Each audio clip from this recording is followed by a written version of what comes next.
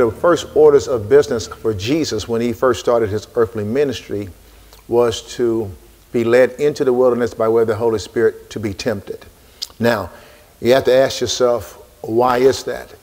The reason being is that Jesus wanted to deal with unfinished business with the adversary. See, the, the whole reason that Jesus had to come on the scene was because Satan tempted Eve in the garden.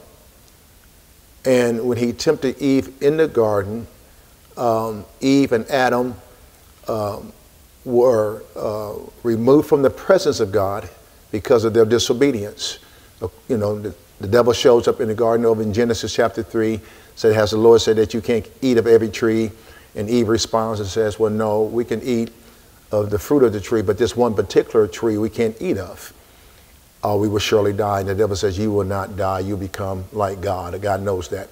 And so Eve, the text says, look at the fruit, it become pleasant to the eyes and what have you. And so she partook of the tree of the knowledge of good and evil. And of course, they were kicked out of the garden because of their disobedience to God. But the enemy used that temptation now to get victory over Adam and Eve in the garden. And so, because he used temptation to get uh, victory over them, Jesus now comes on the scene to get to take back what the enemy have stolen from humanity and says the first order of business now is I'm going to let you tempt me and I'm going to show you that you're not going to get the upper hand on me like you like you did with Adam and Eve. And so the first order of business was for Jesus now to be led into the wilderness to be tempted of the devil. And so we see here how nothing's new under the sun when it comes to the adversary. He has no new tricks, he has no new strategies. He still uses the same old thing that he was using from Genesis, and that is temptation. So if you and I, as believers, if we can understand um, the operation of temptation or how temptation works, it gives us a better uh, chance of, of refusing or resisting the temptation that the enemy throws at us. Now, you can't stop temptation. I mean, that's just, temptation is common to man. And the text says, every man is tempted.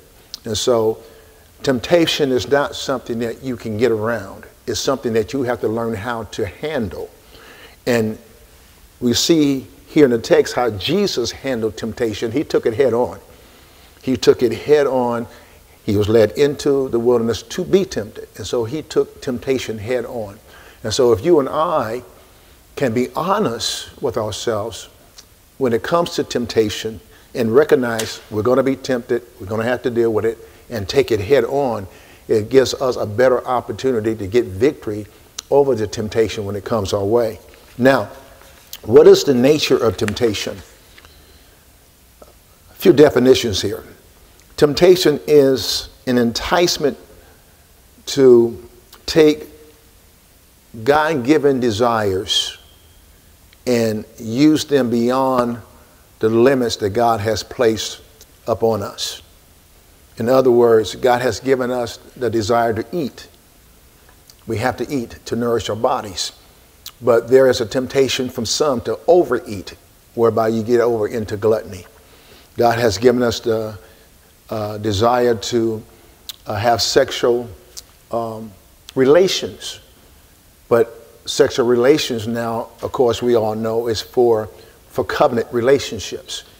But some of us allow ourselves to operate outside of a covenant relationship, thus uh, abusing that, that desire that God has placed in our lives. And then, of course, temptation is deception, it's a lie.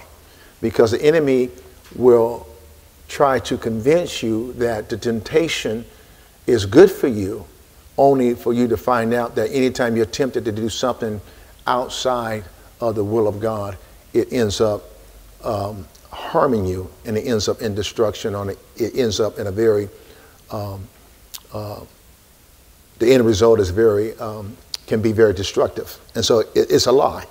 Now, in 1 Corinthians chapter 10, verse 13, the text says, There has no temptation taken you but such as is common to man. But God is faithful, who will not suffer you to be tempted above that you are able, but will with the temptation also make a way to escape, that ye may be able to bear it. Now, this text says four things over here in 1 Corinthians 10, verse 13. It says four things. First, the text says that temptation is common to man. Now, what does that mean? It means simply that if you're being tempted with something, you're not the first one to be tempted in that area. It's common. It's not something brand new. It's not the devil picking on you. It's not you being singled out um, in terms of this particular temptation that you may be dealing with. Temptation is common to man. And so, whatever you may be tempted with tonight, there's thousands of others who are dealing with that same area of temptation in their lives. So, it's common. The second thing that this text says is that, that God is faithful. One of the most important things that you can take from temptation or the understanding of temptation is the fact that God is faithful. God is faithful to us when we are under attack by the enemy in terms of the area of temptation. The third thing is that God will not allow us to be tempted above what we can handle. I love this verse because it's very clear that if you're being tempted in a particular area, it's because God knows that you can handle that temptation. This text says that God will not let you and I be tempted above what we can handle. So if you're being tempted tonight in a particular area, and you say, I just don't know what I'm going to do about this, I just I keep failing in this particular area, I want you to know that you can handle that temptation. Because the text makes it very clear that if the temptation gets to you, it's because God knows that you have the ability to get victory over that temptation. And then the fourth thing that this text says is that, that God gives us a way out. He gives us a way out of the temptation that comes our way. So we don't have to be um, over concerned about temptation. We just have to understand how the enemy uses it to get victory over us. And we don't have to beat ourselves up when we make mistakes. Now, I'm not condoning sin. I'm just simply saying that we have an advocate with the Father who is Jesus Christ, who will cleanse us from all unrighteousness. And the text makes it very clear that God now, He's faithful. He's not going to allow us to be tempted above that which we can handle, and He'll make a way for us to get out of that temptation if we are aware that temptation now is a tool of the enemy to get you and I separated from God. And so all we have to do is recognize, okay, let's, let's, let's understand how this thing works. Now, the first thing that's really important now is to understand the source of temptation. Now, James chapter 1, verse 13, the text says, Let no man say, when he is tempted, I am tempted of God. Now, temptation does not come from God. There's nothing in God to respond to sin. And so temptation never, ever comes from God. And so if you are tempted in a particular area, you need to understand first and foremost, God has nothing to do with it. Now, there's three sources now of temptation. This is going to be a review for some of you. The first one is the flesh. James chapter 1, verse 14, the text says, But every man is tempted when he is drawn away of his own lust and enticed.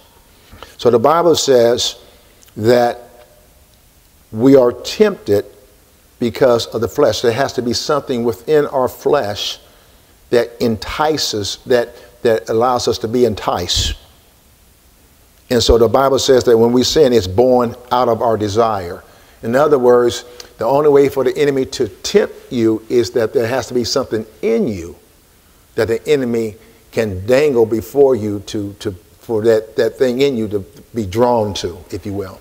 There has to be something going on in you that the enemy can feed to get you to, to, to be drawn to um, uh, his flow of temptation.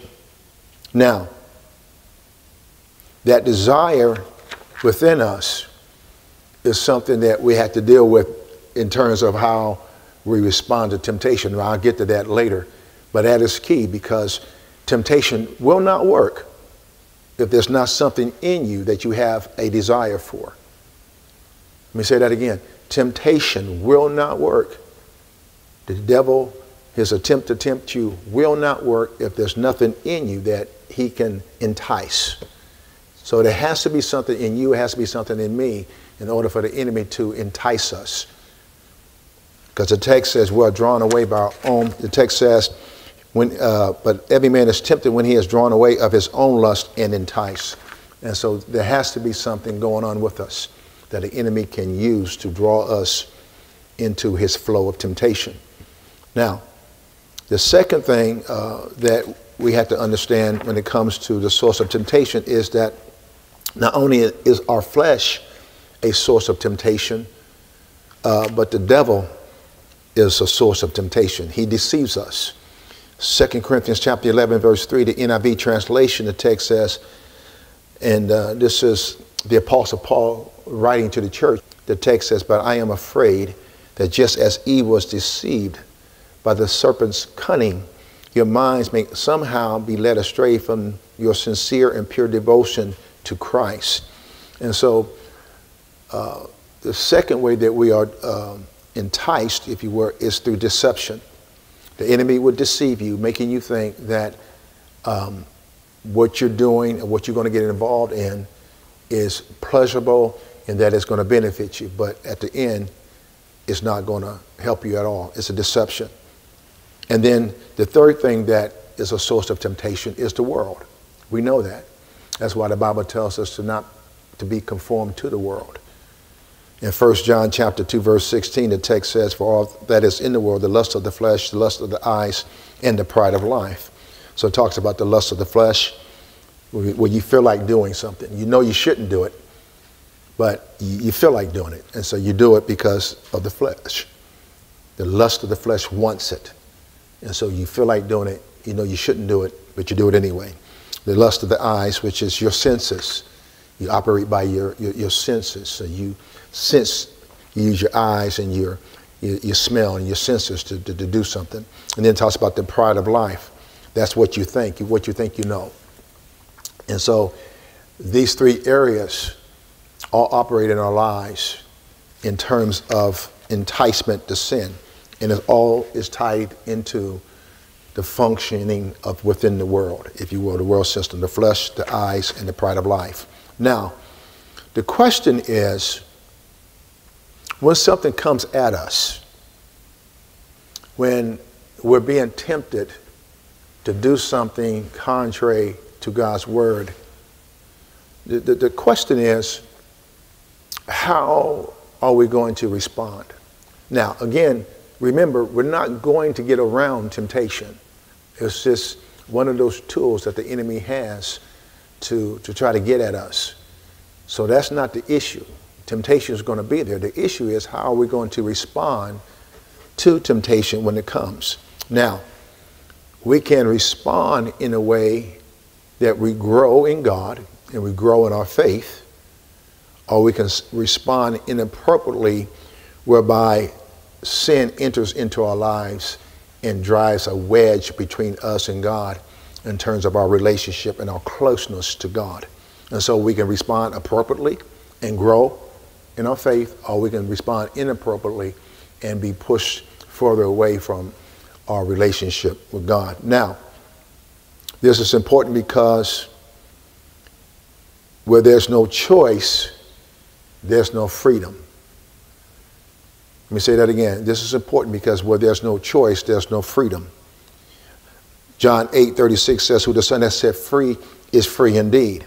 Now, freedom is only a meaningful thing uh, if you have access to choice. Now, follow me. God places Adam and Eve in the garden, and He has all these trees around them. And He says, Of all these trees you may freely eat, but this one particular tree you cannot touch, but in the day that you do touch it, you shall surely die. And so the enemy comes and he tempts them. Now, understand, God did not put that tree in the garden, that one particular tree of knowledge of good and evil, in the garden to tempt Adam and Eve. No, he put that tree in the garden to give them a choice whereby they can choose to serve him or not serve him. Because that's what freedom is about. Freedom is about choice. So God did not put that tree there to, to, to tempt them. He put that tree there to give them a choice to serve him. Now, he let the devil do the tempting in the garden. He allowed the devil in to tempt them, whereby tempting them, they had now to make a decision whether or not they're going to go with what God says or go with what the enemy says. And so, temptation now, hear me, this is important when it comes to our spiritual growth. Temptation now is necessary for spiritual growth. Oftentimes we say, man, I just, I just hate that I'm being tempted. I just wish I wasn't so tempted. But you have to understand that we, God has made us free moral agents, and because we are free moral agents in Christ Jesus, who the Son has set free is free indeed, then temptation is necessary for us to grow in God. Because we have to choose to grow in God. We have to choose to push closer to God. We have to choose God over the adversary. And so, what allows us to grow in our faith is the fact that the enemy is allowed to tempt us in our walk before the Lord. And so, God is allowing you to be tempted because He is allowing you to grow in Him. Let's put it like that. Some people saying, well, if God loved me, why would He let me be tempted? He's allowing you to be tempted because God wants you to choose to grow in Him. It's, as simple as that. We, he gives us choice. Growth is tied to decision making. The only way that I'm going to grow in Christ Jesus is by making decisions that are in line with His Word. And the more that I make decisions in line with the Word of God, the more I grow in God. And so God allows temptation to come our way for us to, to grow in Him. So it's necessary. Now, sin has steps to it. James chapter 1, verse 14, the text says, But every man is tempted when he is drawn away of his own lust and enticed. And so the first step to sin now starts with our desire. It starts with our lust. Sin doesn't just, I mean, it, temptation uh, is a process, if you will. And so you go through this process of temptation before it turns over to sin. And so the first step is that sin, it, it starts with a desire. You see something that you want, you know you shouldn't partake of it. And so God, you know, allows that temptation, if you will, to, to come your way so you can make a decision. Sin starts with a desire or lust.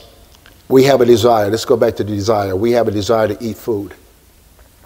If we did not eat food, we'd starve to death. So God has placed a desire in us to eat. It is a natural desire.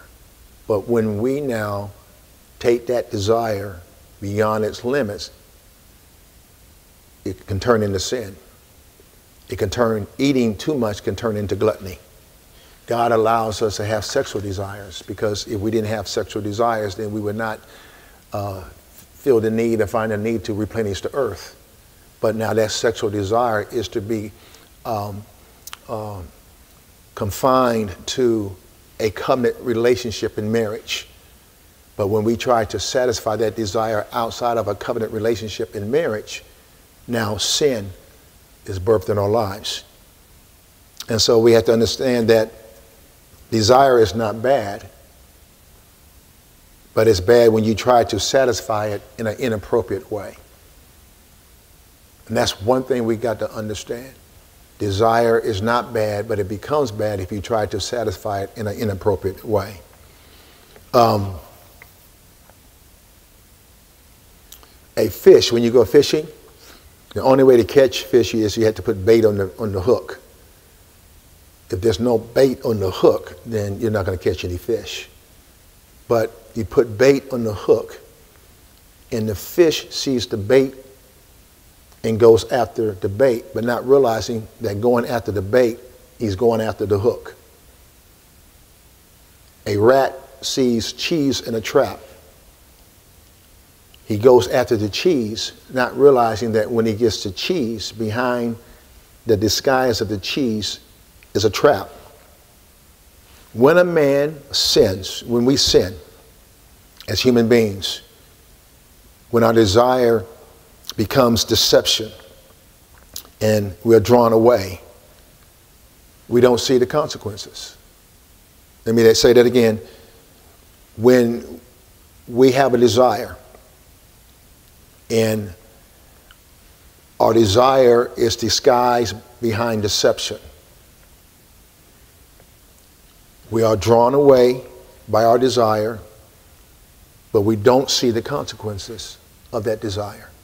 Now, second step is this your desire then produces life. Now, James chapter 1, verse 15, the text says, Then when lust has conceived. So the second step to sin is when your desire, my desire, then produces life.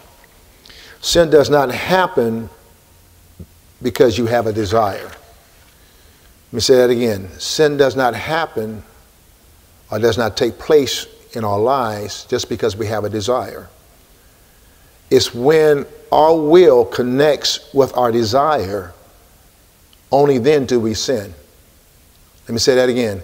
When our will connects with our desire, that's when we sin you have this big um, concept in your mind, this idea that's birthed into your mind when you put your, your, your behavior or your conduct behind uh, your thinking, that's when you sin. When we give consent to our will, when uh, we have a desire and our will wants to engage that desire is when we put when we put our consent behind our will to engage in that desire that's when we sin and so let me say that again uh, sin now only is produced when our will is connected to our desire just because i desire something doesn't, doesn't mean i sin it's when i put action behind what i desire is when sin is birthed in our lives. Now, James chapter 1, verse 15 says the third step is that once our will connects to our desire, it brings forth death. The text says, Then when lust has conceived, it bringeth forth sin, and sin, when it is finished, bringeth forth death. In Romans chapter 6, verse 23 says, For the wages of sin is death. And what that simply means is that our sin now brings distance between us and God. So anytime we are tempted of the devil and we buy into that temptation and our will connects to that desire, then we birth death or we birth a separation or a distance between us and God. Now, real quickly, about five minutes here, and I'm going to be done with this teaching. How do we uh, appropriately respond to temptation? How do we, you know, okay, Pastor Doug, temptation is going to come. We know it's coming. What do we do? How do we appropriately respond to temptation? A couple things here. One of the, the, the, the key strategies to dealing with temptation is that you don't allow yourself to be placed in a situation whereby you know you're going to be tempted. In other words, if you know the enemy is going to use the tool of temptation, then take that, that tool away from him whereby you don't put yourself in a situation that you know you're going to be tempted.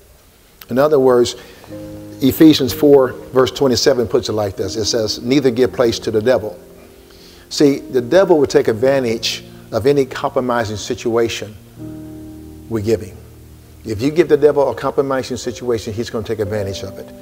And so don't give the enemy an open door. Don't put yourself in an environment whereby the enemy can use the tool of temptation against you. I mean, if you know that you're struggling with pornography, then disconnect your, uh, put a lock on your computer or disconnect your, your phone from the internet. Don't put yourself uh, near or give yourself access to the temptation. Don't allow yourself to go in the environment where temptation can work on you.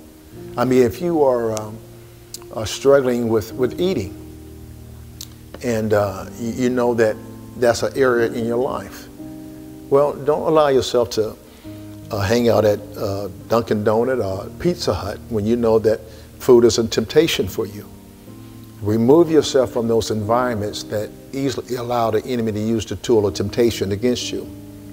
Now, 1 Corinthians chapter 10, verse 12, the text says, Wherefore let him that thinketh he standeth take heed lest he fall. The text is really saying, you know, stop telling yourself you can handle it. Stop telling yourself, I'm going to be okay, I can handle this, when you know you can't handle it. If you can't handle a certain situation, uh, be honest with yourself and stop telling yourself that you're strong and you're in, invincible, that you know the enemy can't get you. The enemy can get you. He, he's gotten the best of our, our leaders throughout the Old Testament and the New, and we're no different. And so don't allow you, you, yourself to be placed in a situation where the enemy can, contempt you, especially if you know that's an area of weakness in your life. You know, resist temptation by resisting wrong places, by resisting wrong people. Don't, don't go around people who are people who you know are going to uh, invite you to do things that you know that is a temptation to you, uh, that you know that's wrong for you to be doing or make it easier for you to do certain things that you know you just should not be doing. Hebrews chapter 11, verse 25, the text says, talking about Moses, choosing whether to suffer affliction with the people of God than to enjoy the pleasures of sin for a season. Now, the text is talking about Moses, how Moses, he chose to be uh, afflicted with the children of Israel than to take the pleasures of and enjoy the pleasures of, of Egypt. That's important because sin is pleasurable. Sin has pleasure. And for you or for me to tell myself that I'm not going to enjoy certain things when I know that I'm going to enjoy it and you know you're going to enjoy it is just deceiving ourselves. We would not sin if it wasn't pleasurable. The only reason we sin, the only reason we do things that we should not do is because there's pleasure attached to it. And so we have to choose now not to engage in those pleasures that we know are going to be destructive to us. And by doing that, what we do is we focus on the big picture. By focusing on the big picture, it helps us to back away from those pleasures that are going to be destructive to us. What do I mean by the big picture? Recognize that, okay, if I allow myself to be tempted in this particular area, what's going to happen to my family?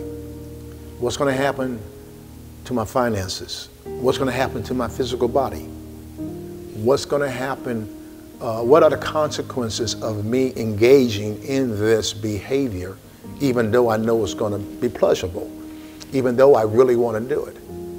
What are the consequences behind me saying yes to this particular temptation of the enemy. And we should pray for our weaknesses. Not only should we be aware of our weaknesses and not place ourselves in environments where we can be tempted, but we should pray for our weaknesses.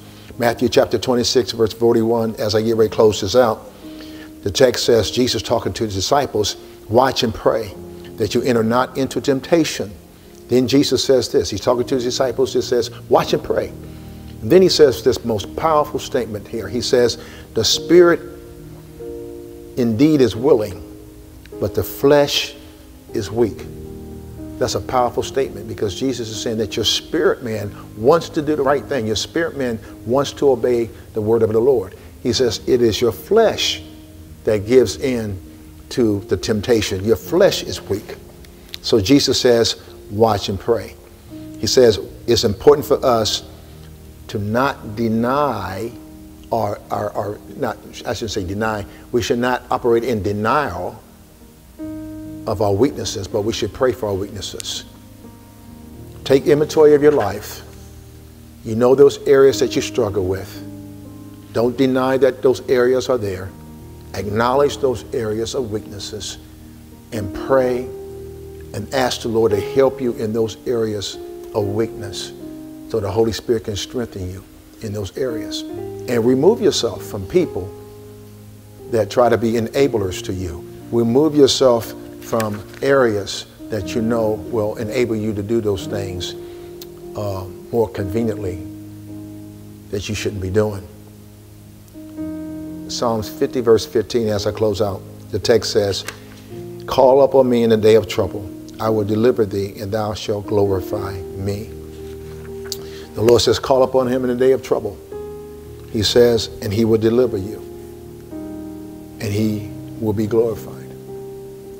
God is saying, when you find yourself in the area of weakness, you find yourself being tempted, you find yourself in it where the enemy is attacking you, you're coming on a spiritual attack in terms of temptation.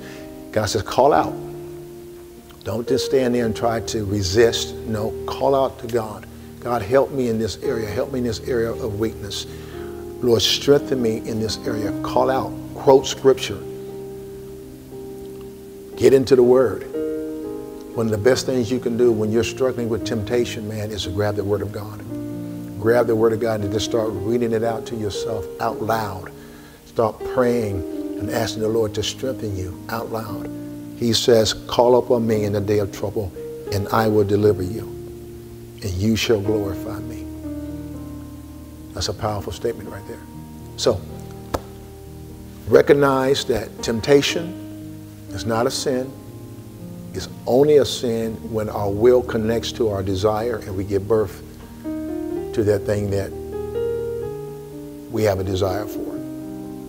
And so protect yourself from temptation. And how do you do that? You take it head on like Jesus did. Take it head on. Acknowledge, hey, it's going to come. I'm not exempt. It's common to man. It happens to everybody. I'm not going to live in denial. I'm going to take it head on. This is what's coming at me. This is what the enemy's trying to do. I'm going to remove myself from the temptation where it can have an upper hold on me. I'm going to pray and cry out to God so God can help me in this area of temptation. And God said he'll do it. He'll deliver you. Amen. Let's pray. Father, I just thank you tonight for this opportunity just to share in the word of the Lord. And Father, I pray that something was spoken this evening about the enemy and his strategy in terms of temptation that will help your people, God.